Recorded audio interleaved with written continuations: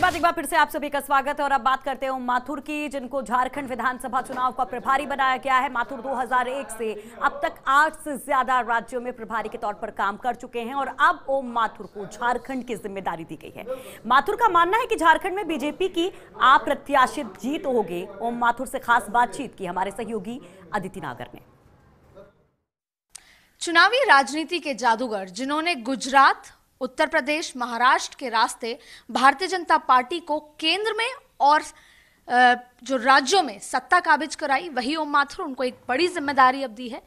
आपको trouble shooter की तरह हमेशा देखा जाता है और ये भी कहा जाता है कि अगर आप कोई काम हाथ में लेते हैं तो उसको अंजाम तक पहुंचाते हैं और अब अगला काम, अगली ज़िम्मेदारी आपको झारखंड की दी गई है, जहाँ पर सब कुछ बहुत ठीक नहीं है। देखिए, सन 2001 से हर बार मुझे नई जिम्मेवारी मिली है। प्रारंभ में जब एक में मध्य प्रदेश भेजा गया तो उस समय भी वहाँ दस साल से हम शासन में नहीं थे और दिग्विजय सिंह जी सीएम थे।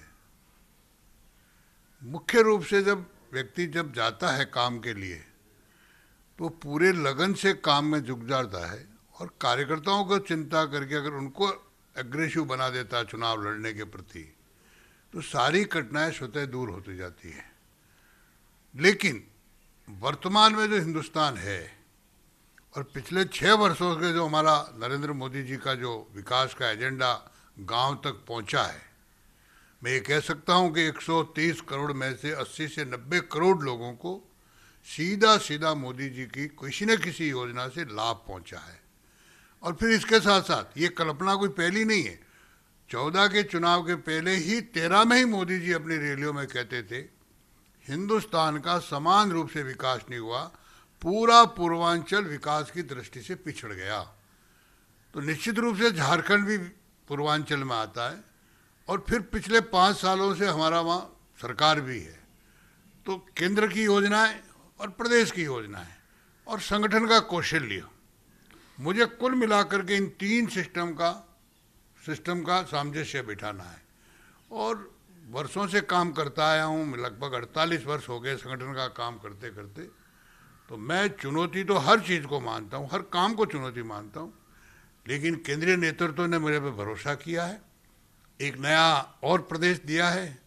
लगभग ये मेरे ख्याल से आठवां प्रदेश हो जाएगा, बड़ा प्रदेश इसमें वैसे बीच बीच में बहुत कई जगह गया हूँ। कर्नाटका में भी एक महीना लगा गया कोस्टल बेल्ट में, लेकिन वो प्रभारी के नाते नहीं। लेकिन एक नया आठवां प्रदेश मेरे जुम्मे होगा। और इस समय जो और फिर अभी ताजी ताजी जो 370 की जो आम लोगों के मन में था उसको मोदी जी ने और गृह मंत्री जी ने हिम्मत करके जो निर्णय किया है और पूरे दुनिया में देश में आम कार्यकर्ता की भावना कहाँ उन्नीस सौ इक्यावन से हुए जहाँ बलिदान हुए मुखर्जी वो कश्मीर हमारा। और मन दुखता था जब प्रधानमंत्री जाते थे कश्मीर एक तरफ़ तिरंगा लहरा था और एक तरफ़ दूसरा झंडा भी था। दुर्भाग्य था।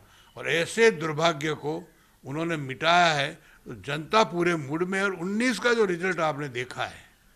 हम जब लोग कहते थे कि हम 14 से ज़्यादा सीट लाएँगे, आप लोग कोई नहीं मानते थे लेकिन निश्चित रूप से ऐसा ही परिणाम इन आने वाले तीनों चारों प्रदेशों के चुनाव में भी और झारखंड में तो निश्चित रूप से आएगा ही अभी तक का जो भी परफॉर्मेंस हमने देखा उससे हम ये मान सकते हैं कि अगर ओम माथुर वहाँ जा रहे हैं तो ऐतिहासिक विजय ज़रूर होगी।